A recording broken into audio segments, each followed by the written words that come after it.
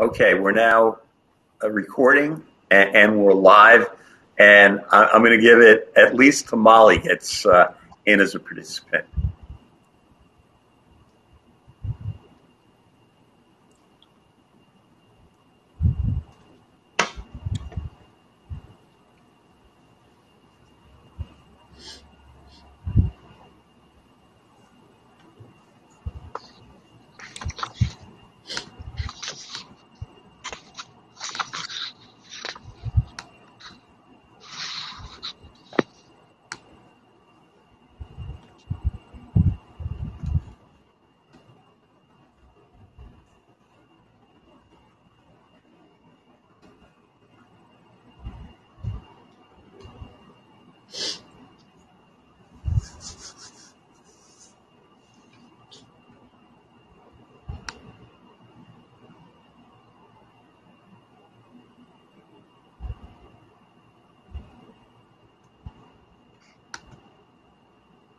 Welcome to those who are active in the room.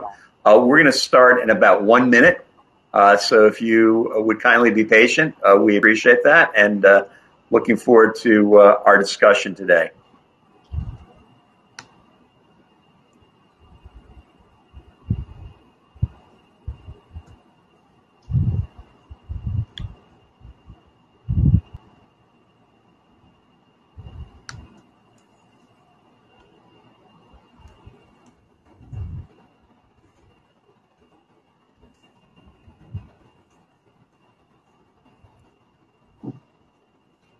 Well, good morning, good afternoon, good evening, depending upon where in the world you are.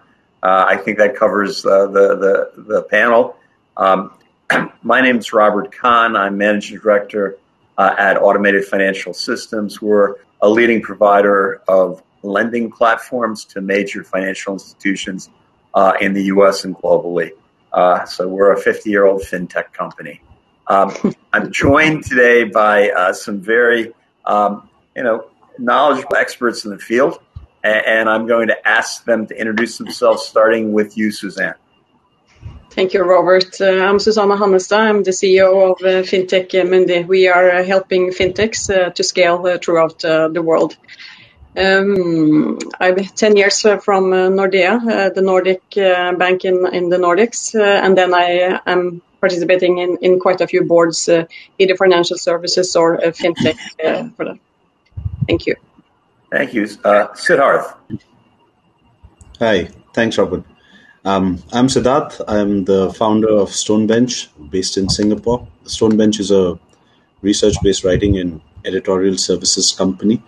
I'm a former financial journalist, and in my current role, I've worked with uh, several fintechs, fintech firms based in based in Singapore and in the region, and spoken with several practitioners working at the intersection of banking and technology. Great, thank you. And uh, Federico. Hi, everyone. Um, good, good morning, good afternoon, and uh, uh, to, to, everyone also more east and, uh, and west. Uh, my name is Federico Travella. I'm the founder and the chief executive of Novicap. Um, I'm a Belgian Italian technology entrepreneur for a decade now. Before starting Novicap, I was a managing director at Rocket Internet, where I helped scale e-commerce ventures in Asia Pacific and um, Africa. Um, thanks for inviting me today. Happy to, to chip in on everything fintech and, and banking. Great. And we had initially two other panelists, uh, Jean Lehmann uh, from uh, Cyber Capital and he's not going to be able to join us. And Molly Shea from uh, Western Union, who will be joining us uh, shortly once uh, the technical issues she's having gets resolved. Well, the topic today is banking uh, in the era of fintech. And when I participated in some of the other sessions earlier in the um, day, uh, things like climate change and global warming and COVID, uh, and uh, gender equality and diversity. Um, you know, some might think that fintech isn't quite as as relevant, but um, when you think about it, everything that we do needs to be supported by by finance, and the banking and the fintech uh, sectors are our best hope for finance getting to the right place at the right time in the most efficient way. Um, and I remember when I was a very young man leaving grad school, moving from Washington, D.C. to uh, Philadelphia to become a banker. Uh, and I went to say goodbye to my, uh, my priest. and he said, Well, what are you going to do? And I told him I was joining a bank. And he said, Well, bankers do God's work too.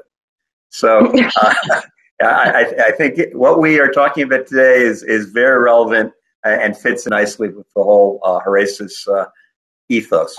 Um, banks have struggled in optimizing relationships uh, with fintech firms. And, they've really deployed uh, one of three approaches ignore, uh, compete, or collaborate. So the first approach no, is no longer viable. So, Susanne, uh, if you could kick us off, how has the COVID experience clarified the balance uh, between competition and collaboration uh, with banks and fintechs?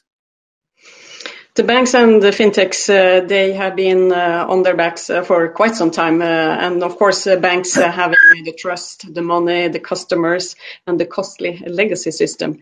They are, of course, investing in, in fintech, partnering with fintech, and, and competing with fintech.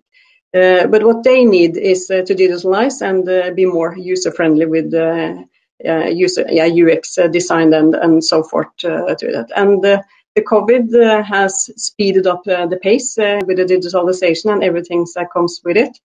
And then on the other side, the fintechs, they do have agility, low cost, state of the art uh, technology, uh, which they can provide uh, to the bank in a collaboration as a customer. Customer and, and buyer or in collaborations because they're offering something out to the market. The fintechs, they, their challenge is uh, scaling, uh, funding, and building a sustainable uh, business. Uh, hence, uh, get the bottom line, not only uh, top line or getting the investors. But what we see, though, that in banks, they are investing in in fintechs, either to have a uh, Uh, look in and learn uh, to get a return on investment uh, or to gradually uh, take over, acquire uh, the fintechs. So there are many variations in it. But what, I, what we see, or what I see, is that collaboration is here to stay between the fintechs and, and the banks. And I say collaboration is the new innovation. So that's a short intro to, to that topic. Oh, well, that, that's great. I, I, think there's a lot to what you just shared. Uh, but uh, let me turn to Siddharth. And do you want to respond uh, to Molly uh, to uh, Susanne's comments? Susanne, thanks, thanks so much for that. Um, I, I, tend to agree. I tend to agree to a great degree with what Susanne said, and you know, speaking a little bit about you know, from an Asian perspective, you know, while while arguably Asia has been slower to move towards digitalization of finance and banks, you know, in the recent past, rapid strides have been made, and we all know the reasons for it you know, deepening smartphone, mobile internet penetration. Um, in many ways, East Southeast Asia, you know, pretty much taking the lead in this respect. Uh, while I'm not not entirely sure, I mean, the question's very relevant. I'm not sure if COVID has sh- uh, clarified the balance any further. And I think that is because, like Susanne was saying, I think it's we are seeing a lot of collaboration, and I think that is going to continue. There is uh, why do I say that? Because there's growing acknowledgement among banks that they have to adapt to meet changing customer tastes, behaviors, and fintechs require that scale. And you know, increasingly, there's an appreciation that, in many respects, they're better off collaborating with banks. Um, that said, you know, we also see a lot of banks still trying to do a lot of it in house, so that you know in that sense, one could look at as as the two types of institutions competing. How successful those endeavors will be, you know, that remains to be seen. But but I think one key point, uh, if we look at if we look at the larger in the larger scheme of things, I think till such time that banks, that sorry, that fintechs are, are not taking in customer deposits, I think it is hard for them to really be able to to compete with the banks in a traditional sort of a sense, which also uh, has various implications, I would think.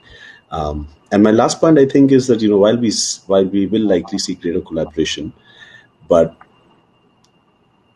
um, there's uh, sorry, while we might see competition ahead, I think I think we're likely to continue seeing more collaboration because of the thrust towards digitalization. And I think both both sides bring something to the table, which they can capitalize on. I'm, I'm actually quite curious why you think Siddharth um, deposit banking is, is, is so key for, for fintechs.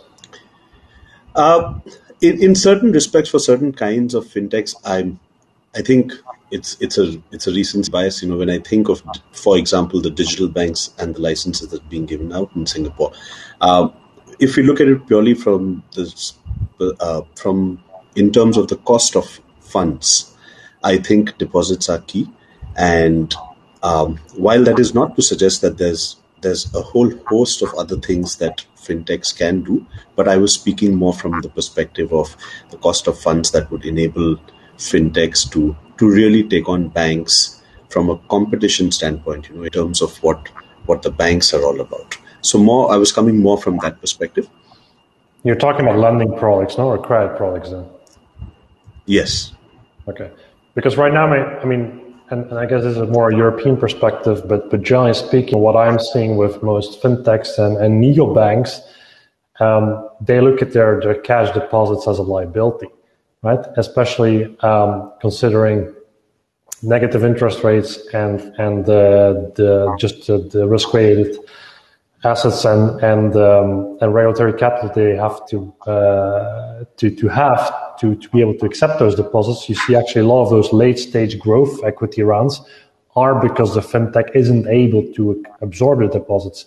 Now, once you have the deposits, they also start to realize if you want to build credit products or investment products on top of that, it's really expensive, right? Because the capital you have to to to keep um, for for developing such a product is is going up quite dramatically. So, as such, in my view, um, the deposit banking option, um, building a balance sheet, is is generally um, unattractive. Another thing, also, what what I've seen. Um, is that with the whole move of central banks, and I think this is a very exciting point, um, the move of central banks towards digital currencies, where eventually you have a disintermediation and the typical uh, financial intermediaries, financial institutions, banks, payment providers are being disintermediated, and you can pretty much build um, payment services uh, directly on top of, of the, the central bank via digital currencies. Mm. Um, the need for a banking license becomes a lot uh, a lot less.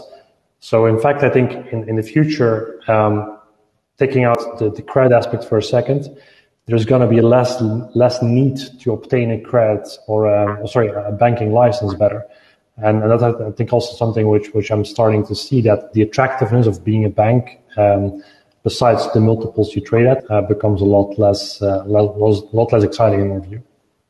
Well, it doesn't also depend on stage and scope. Um, you know, it, it, at this stage in the economic cycle with negative interest rates, deposits aren't that interesting. At five percent, uh, you know, uh, or, or, more, uh, they become very interesting. And then what's the scope of the organization? What are they trying to do? Obviously, for fintechs, uh, you know, they don't have to be a, a challenger bank or a neobank to, to provide certain types of services that are profitable.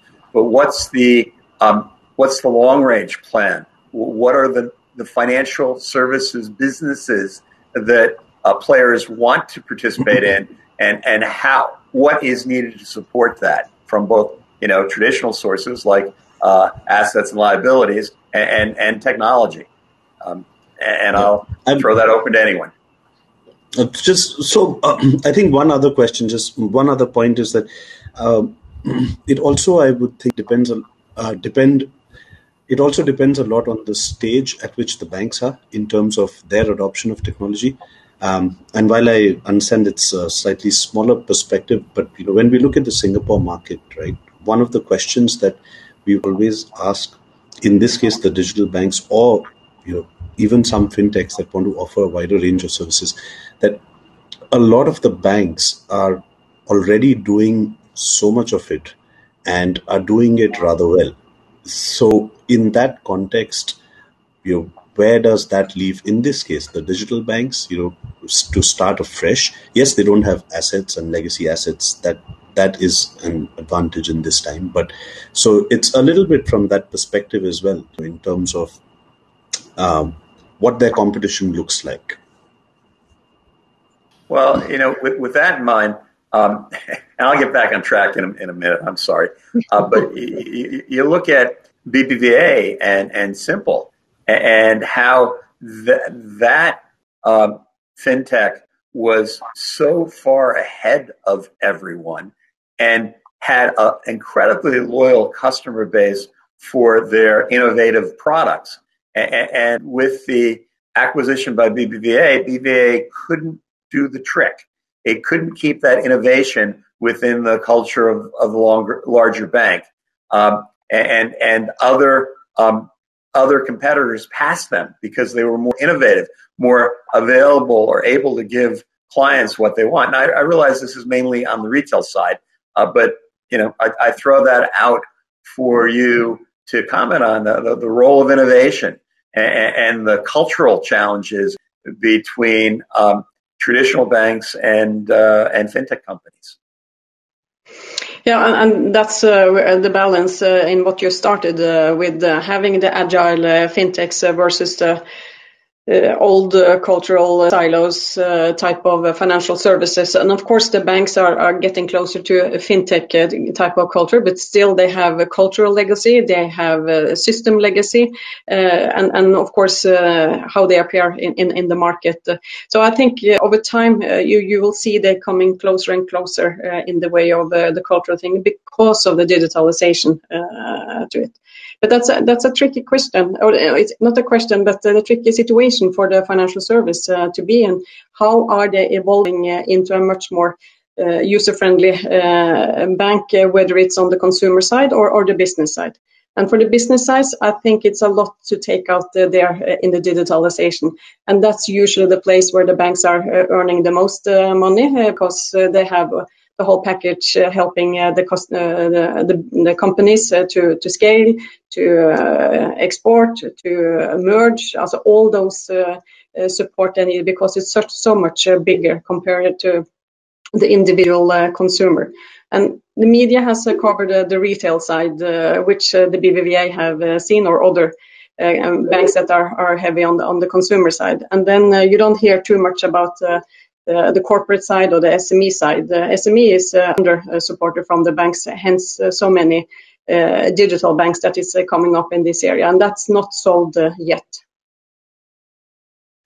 Uh, I, am going to try to get us back on track with our, our, questioning, but this is this is wonderful. So so so take us off track. I, I, I think it's very important to look at uh, what's top of mind uh, for C-suite executives of the bank and what I continue to tell my colleagues, don't look at the feature functionality of our um, so, uh, our product. Yeah, we might be have the best bread box in the world, uh, but if that's not if they're not eating bread, it really doesn't matter. Um, what are the solutions uh, that are needed by those C-suite? What how what's relevant for the problems they're trying to solve, and, and how do we align with that? So top of mind, issues for C-suite executives are, are a point of focus. Um, and you know, I, I, think one of the one of the areas that just keeps coming up to me is is data.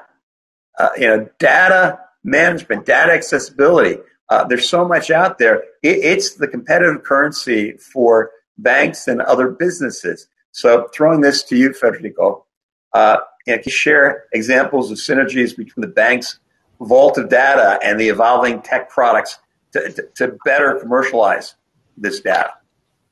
Sure. Um, I, am not entirely sure, actually, uh, Robert, whether um, data is the, is the, is the right or the, the main concern for banks. Um, a main concern. Yeah, yeah, it, it's it's definitely a concern indeed, and, and in my conversations with banks, it, it comes back quite often. Um, but if you look at customer data um, at a bank, think about a regulation like PSD2, right?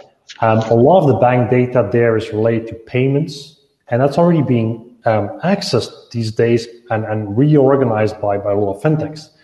And so, from the user interface or the, the end user's perspective, they don't really care in a way whether it's a bank doing their forex or which bank's better, right? Is doing their forex or, or which bank is doing their payments. And I think the risk there for the bank um, is becoming, you know, pretty much just the, the, potential some part of the rails, right, for um, applications like, say, TransferWise or even like my own company, Novicap, that are building on top of the bank's um, infrastructure. And so, from the bank's perspective, you don't want to become a backend on which fintech's um, user interfaces are built. So, then relate to payments. Um, I, I, I think from from again from the data perspective, I think that is being opened up a lot. So from that perspective, I think it's something that banks, yes, they do care about because they can apply AI, they can apply machine learning to, to data and find novel ways to underwrite, for instance, customers, which indeed is, is very valuable.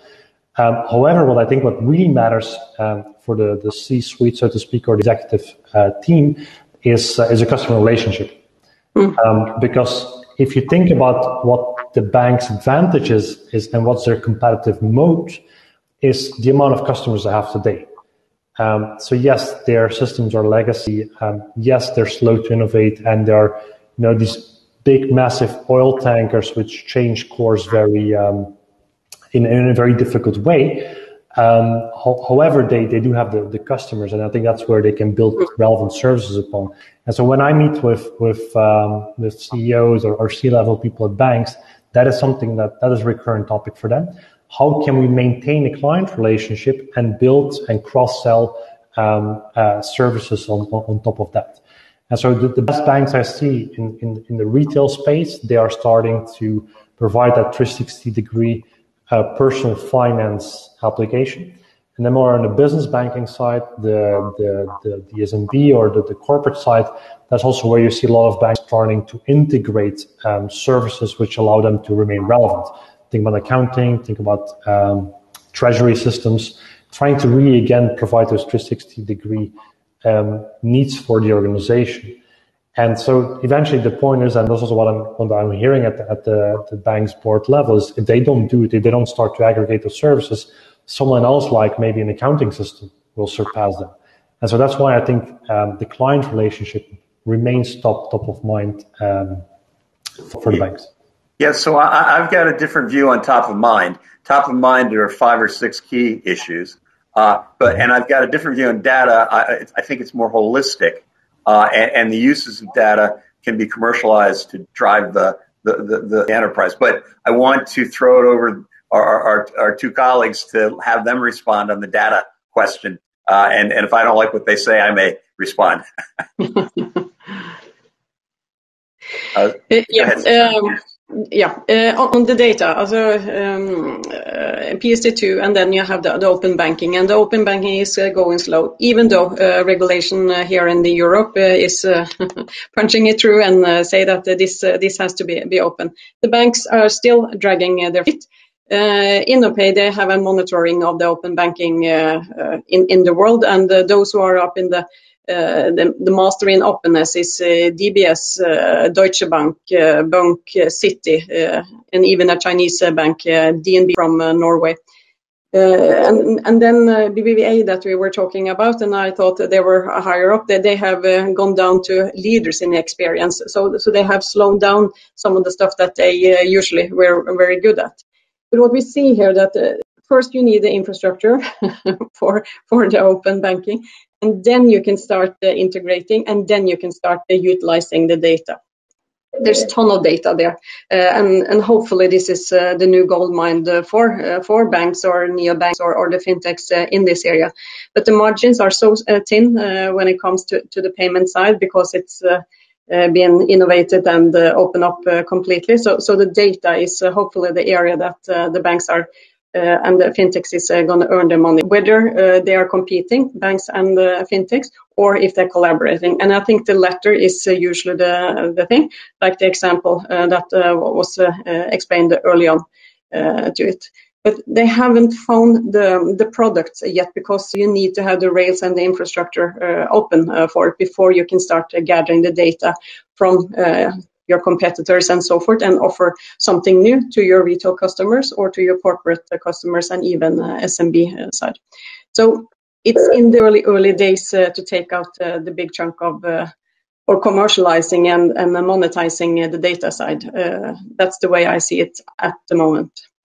Great. Siddharth, would you like to comment on that or move on? I think we'd move on. Okay. Um, so let me move to a, a, a, another top of mind C suite. Every, every, bank that I talk to, uh, and those that I don't, are, are, focused on cost reduction. Let's call it mm-hmm. efficiency. Uh, you know, with interest rates so low, with other challenges, even though they're having a good, you know, first six months of this year post COVID, they're all trying to cut costs. They're all looking, how do I drive efficiency over my um, enterprise, you know, over the next five to 10 years? I want to get it today and I want it to, to continue. Um, so, Siddharth, do you have any examples of, of banks teaming with fintech to bend the, the cost curve? Um, bend the cost curve. Um, not not so sure about specific examples to that, but but what we've seen and we have been seeing here for a while is you know in it's more in line it's more in line with with what Federico was saying that you know we're seeing a number of banks that are looking to you know offer this um, this full suite of solutions. And in Singapore we're seeing a lot of it in the SME space. Um, as with most other economies we we are often uh, Singapore is often seen to be this hub for multinationals, etc., which it is. But but the SMEs are still a very, very, very critical component of the economy and are underserved. Uh, so uh, one bank in particular comes to mind. You know, so say for example, UOB Bank, they've taken several several initiatives, which is you know tying up with with fintechs, or you could say you know HR tech, or basically tech firms of different kinds to provide services so it's one's HR easily or you know uh, in in for UOB it's within their uh, smart biz uh, suite of solutions ranging all the way from payroll to HR to uh, even restaurant deliveries you know integrating of orders. Uh, a lot of it picked up during the pandemic you know given the lockdowns. And so I'm so there are examples of that. I'm not I'm not so sure it's from uh, from a cost perspective, but rather it's about meeting meeting uh, a need that is arisen. And similarly, you know, we're seeing DBS while with all the innovation in house, also partnering with with companies, uh, with fintechs. One area we're seeing a lot of it, in fact, I think in Asia is this whole spectrum of, of wealth management services, whether it's robo advisory or uh, you know, but across different asset classes. Several of them have been, again, not so much post COVID, but have already been integrated to the you know, where you just log into your internet banking and just as you browse your account and you know check your balances, you also have the ability to to invest in in funds, equity funds, or other kinds of funds. Um, so we're seeing a lot of that, and I think that's going to continue. There are several examples of it in Singapore and across, you know, even other other economies in the region. Great, um, Susanne or Federico, do you want to give any examples that you may have seen? Uh, if not, I can certainly give one.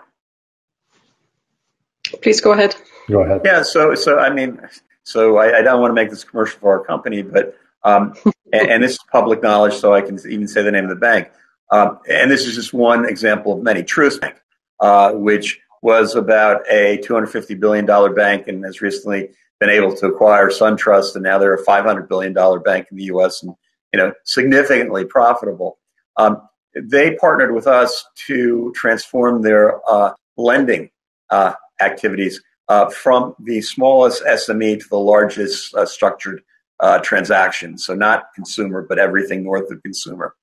Um, and they had multiple platforms, multiple processing centers, disjointed businesses, and through uh, the AFS Vision platform, uh, they were able to put everything in one center on one platform, uh, and they drove 30% uh, of their costs out of their business. Uh, they were uh, net positive from a, a, an earnings point of view, return point of view, in the first 12 months. and they are getting uh, continuing to make better efficiency gains uh, year after year after year. Um, and it's just one example of how technology can drive down expense when uh, used intelligently by a financial institution or a bank. Um, hmm. and you know, I could go on and on. There are many more value propositions from uh, my company or from others.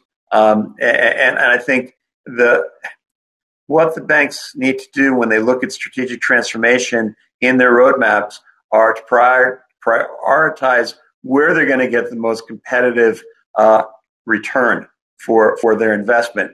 Now, I realize that they have to make choices and, and regulatory and compliance issues because they are regulated industry are usually going to trump all the other business aspects but you can get you can partner with technology firms to address the regulatory compliance issues but also gain a competitive advantage in the market and that's kind of the sweet spot. Um, but um, you know I, I, I'm a big fan of the intelligent partnership uh, of of technology of fintech companies with their innovative approach and, their efficiency gains uh, with that of traditional financial institution and, and how they partner is, is, just so so critical. How they compete is also critical. Uh, um, well, I, I, I, need to get back to another question. Um, so so let, us um, that's going to be for Molly. I may throw that out. Um, well, let, let, do this one. I like this one. What are the top three qualities a bank should consider when vet, vetting a potential fintech partner? Uh, and uh, I will just throw that out to whoever wants to respond.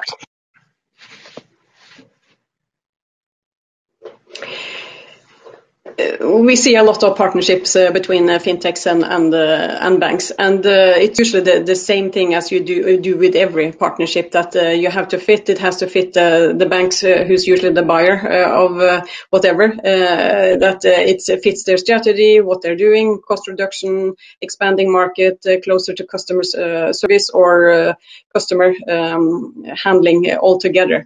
Uh, so uh, it, it's achieving the, corporate goals uh, faster and the more cost effectiveness. I think that's usually the, most popular part for the banks.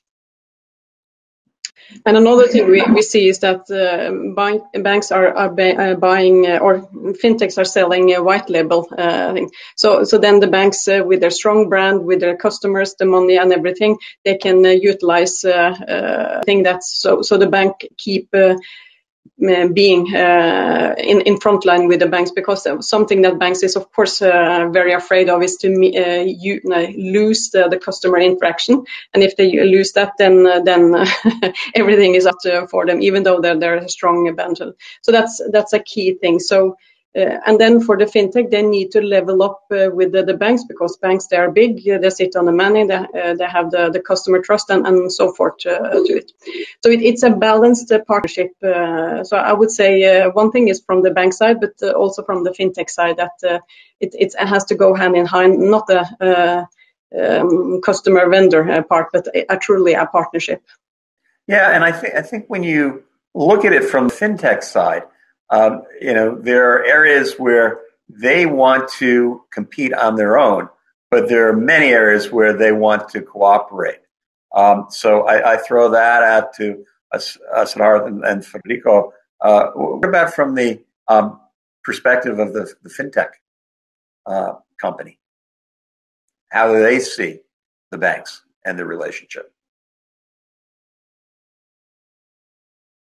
Okay, I'll, so I think I think uh, the first thing is clearly in terms of I, I would say it's in terms of two things, right? One, purely from a fintech standpoint, is in terms of of the trust that traditional banks have built in people over the years and their immediate reach. So for a fintech that is, you know, may have a great product or service, um, in terms of immediate reach, perhaps very few things, uh, very few ways to to get immediate reach as compared to say partnering with a bank and you know hence getting access to a customer base.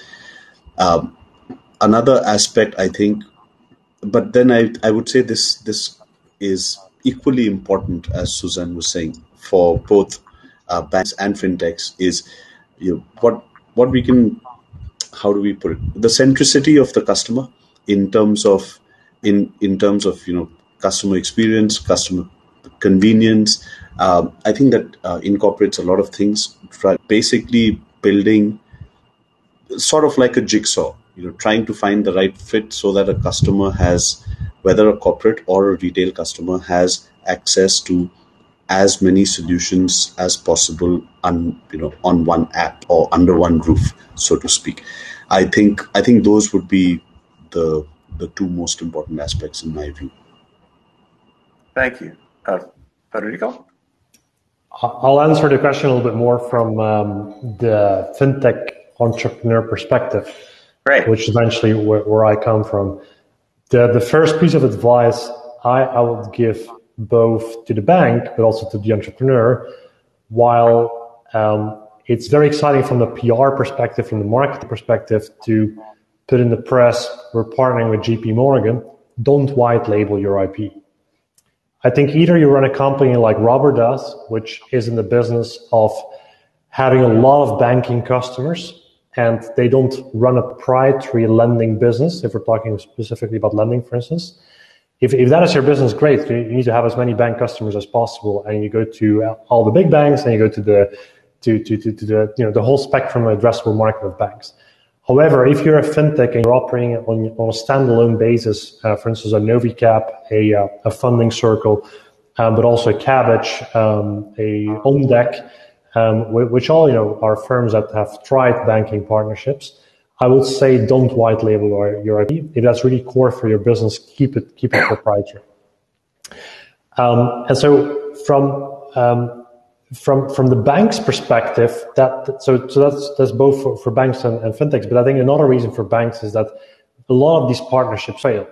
And so from that perspective, I think it's much better as a bank if the if the technology is that um, cutting edge, so to speak, you have to acquire it and acquire it before another bank does.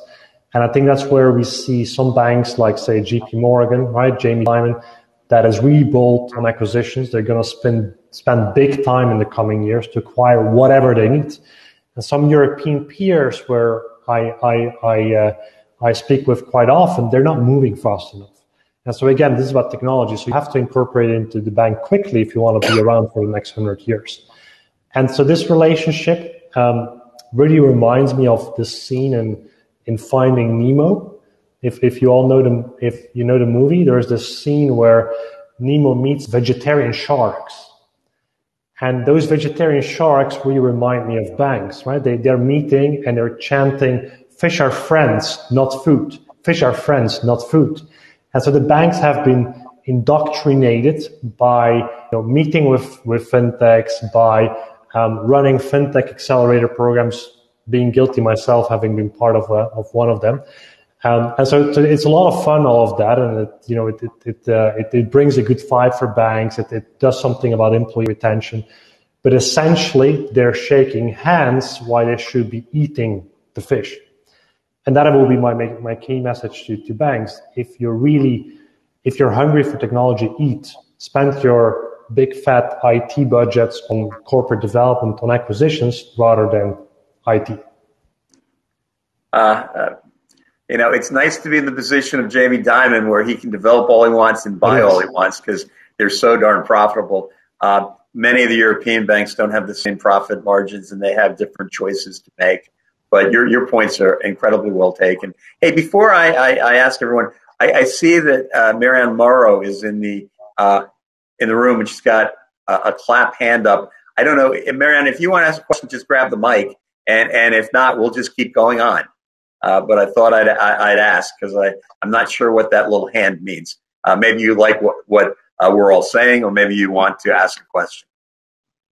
Um, okay, uh, just just just checking. Um, no, she, I mean, she actually left a comment that she's trying to grab the microphone. Oh, she did. Okay. Um, there, there is a um, a microphone. Exactly. And I think now you have. She, to, she wants. Oh, maybe she I wants the letter. Okay, uh, I just gave you the microphone. Okay. Uh, somebody checked on her. Uh, yeah, I did. So, there she is. Hi guys, how are you? Welcome and hi from Silicon Valley. I'm wanting to know what trends you think are we should follow in the next couple of years as we move into this digitization.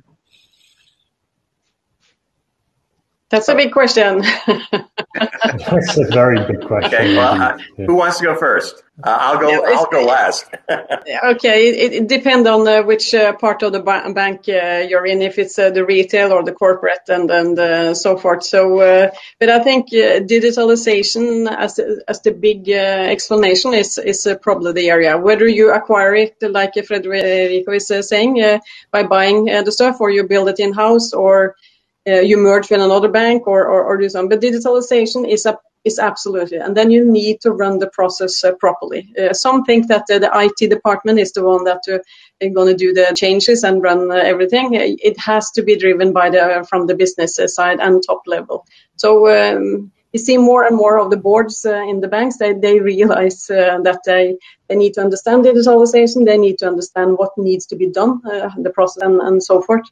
But uh, again, I believe the digitalization will um, will uh, be the main main uh, topic and trend going forward.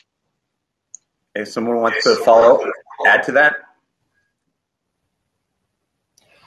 I'm, I'm happy to chip in. I think one, one, one area which I find um, particularly exciting is the, the core banking mm-hmm. system, which um, is one of the most outdated parts of a bank. Um, I've encountered that uh, throughout my relatively uh, short period in, in financial services slash fintech myself.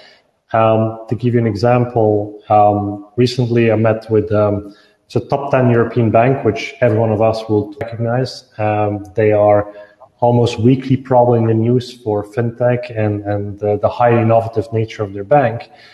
And um, we're, very much looking at a partnership with them um, for a specific part uh, of their business. Not going into too much detail. And um, so w- one of the areas which which came came back was indeed the core banking system. And um, when we started to inquire, it went to, to APIs. It, it was about you know integrations with with the, the core banking system.